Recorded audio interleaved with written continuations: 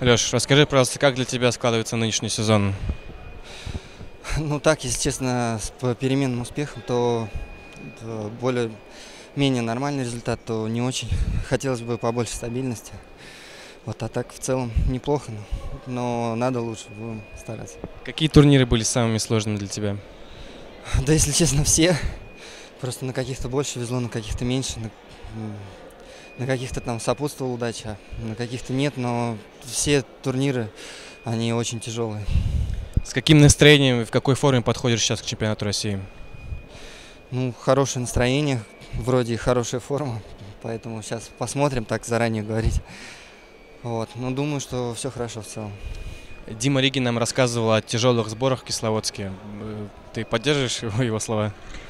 Ну да, они, скорее всего, были тяжелые, потому что на высоте, в принципе, и много тренировок было. Вот, поэтому тяжело было справиться с нагрузкой и прийти в оптимальной форме. Вот, но вроде получилось неплохо. Пока по сегодняшнему дню доволен своими результатами?